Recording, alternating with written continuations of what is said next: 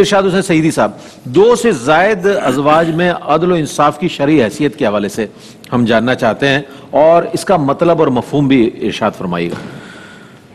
जी, यकीनन इस्लाम ने हमें तमाम तर कवायद और जवाबत और उसूल अता फरमाए एक ज़िंदगी गुजारने के लिए, मिसाली ज़िंदगी गुजारने के लिए। और देखिए कैसा हुस्न है इस्लाम का कि जहाँ एक से जायद अजवाज की इजाज़त दी है क्योंकि बसा अवकात इसकी ज़रूरतें पेश आ सकती हैं तो जहाँ इसकी इजाज़त दी है वहाँ उनके माबेन पेश आने वाले तमाम मामलात के ऊपर भी मुकम्मल रहनुमाई अता फरमाई है। जैसा कि किबला मुफ्ती साहब ने अभी कुछ देर कबल इस पर बात करते हुए आयत मुबारक का हवाला दिया और वो जो शर्त अल्लाह रबुल्ज़त ने बयान फरमाई वो शर्त अदल की है कि जब एक से जायद अजवाज हैं एक से ज़्यादा शादियाँ किसी ने की हैं तो उनके माबेन अदल को कायम करें।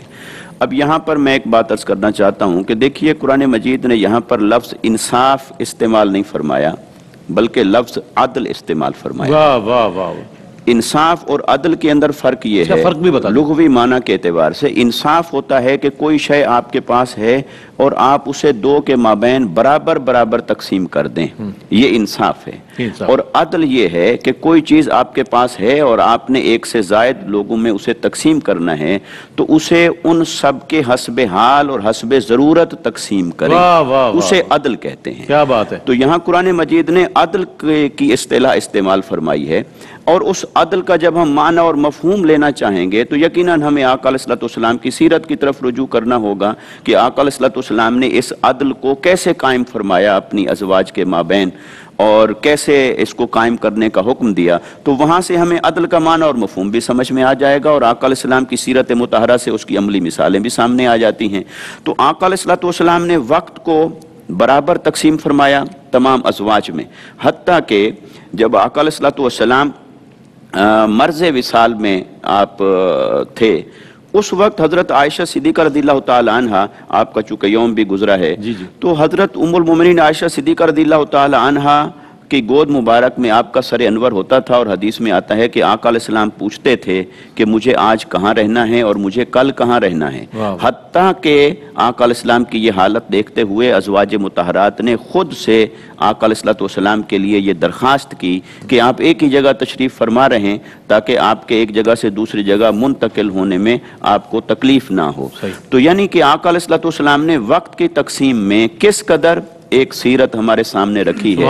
इसी तरह जब हम देखते हैं कि एक से जायद अजवाज के माबेन अदल अदल में के राम ने इसको बयान किया है कि अगर तो एक जोजा ऐसी है कि वो जिस घराने से आई वो खुशहाल घराना था मुतमविल था एक है कि ऐसे घराने से आई कि वो कम वसाइल पर भी गुजारा करने वाली थी सब्र करने वाली थी और उस वो इस तरह की ज़िंदगी की आदि थी हम्म। तो आप उनके नान नफका में कपड़ों में चीज़ों में बरतने की चीज़ों में आप कर सकते हैं कि उनको हसब मिजाज और हसब ज़रूरत दें दे। लेकिन जो खाने पीने की चीज़ें हैं और इसके अलावा जितनी ज़रूरियात ज़िंदगी हैं और जो कुछ आप इजहार मोहब्बत के लिए लाते हैं कोई आप गिफ्ट लाए तोहफे लाए खाने पीने की और कोई चीज़ें लाए जो ज़रूरत के अलावा होती हैं चीज़ें तो वो लेके आए तो उसमें कोशिश करें कि उसमें पूरी तरह से अदल कायम करें और वो बराबर उनको रखें और वक्त की तकसीम में उनको बराबर रखें।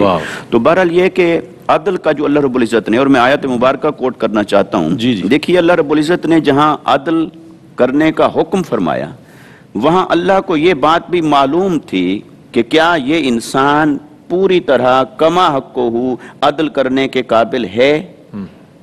तो अल्लाह को मालूम था इंसानी और बशरी कमजोरियाँ भी मालूम थी। अब आकाम ही वो हस्ती हैं जिन्होंने अल्लाह के उस हुक्म अदल को कामिलन पूरा करके दिखाया। बेशक, बेशक। और आकाम के बाद बेशक सिहाबा कराम ने उस अदल को पूरा करने की कोशिश की। और दीगर लोग अहल ईमान वो अदल को पूरा करने की कोशिश करें। मगर अल्लाह को यह मालूम था कि कमा हक को जो अदल है वो इंसान के बस में नहीं है। बसा औकात ऐसा होगा कि एक की तरफ़ मैलान होगा ज़्यादा हो जाएगा दूसरी की तरफ़ कम होगा। अब इसमें कुरान मजीद हमें क्या तालीमात देता है? अगर इसमें मैं सुर निसा की आयत नंबर एक सौ उनतीस आपके सामने कोट करूँ तो ये देखिए कि अल्लाह रबुल्ज़त की रहमत का कैसा इजहार है। यानी इंसानी बशरी तकाज़ों को भी मद्देनज़र रखा है उनकी भी रियायत की है और हुकूक के माबैन भी तलकीन फरमा दी है। तो अल्लाह रबुल्ज़त ने इरशाद फरमाया वलन तस्ती अनतलू बैन निसाए। फरमाया कि अल्लाह को यह मालूम है कि तुम अजवाज के माबैन अपनी बीवियों के माबैन कमा हक अदल करने की इस्तात नहीं रखते। नहीं रखते। अल्लाह को यह मालूम है बशरी कमजोरियाँ हैं मौजूद हैं। फिर फरमाया वलो हरस तुम चाहे तुम इसकी हतमकान कोशिश ही क्यों ना कर लो। तुम इसके हरीस बनो ख्वाहिश होनी चाहिए इरादा होना चाहिए अमल होना चाहिए क्योंकि तुम उसके मुकल्लफ बनाए गए हो। कि ए दिलू अदल करोगे। तो मुकल्लफ बनाए गए हो तो अदल करने के पाबंद हो, अदल करो और तुम्हारे दिलों में यह ख्वाहिश होनी चाहिए और इरादा भी होना चाहिए। लेकिन जहाँ कहीं ना कर पाओ तो फिर कुरान ने क्या कहा? फरमाया, फला तमीलू कुल्ल मईले। फ़ताज़रूहा कल मुअल्लका। तो फिर ऐसा ना करना कि किसी एक की तरफ़ इतना झुक जाओ हम्म। इतना झुक जाओ कि उसके मुकाबले में दूसरी को एक लटकी हुई औरत की तरह नज़रअंदाज कर दो और छोड़ दो और फरमाया वन तस्लहू व तत्तकू फ़ैन कान गफूर रहीमा। और अगर तुम फिर भी जहाँ बशरी तकाजू में कमी बेशी हो उसकी असलाह के लिए फ़िक्रमंद रहो और कोशिश करते रहो कि हर हाल में उन्हें बराबर रखो उनको भी बराबर रखो उनके रहन सहन के बराबर रखो उनके लाइफ स्टाइल को बराबर रखो, उनकी, उनसे होने वाली औलाद को बराबर रखो।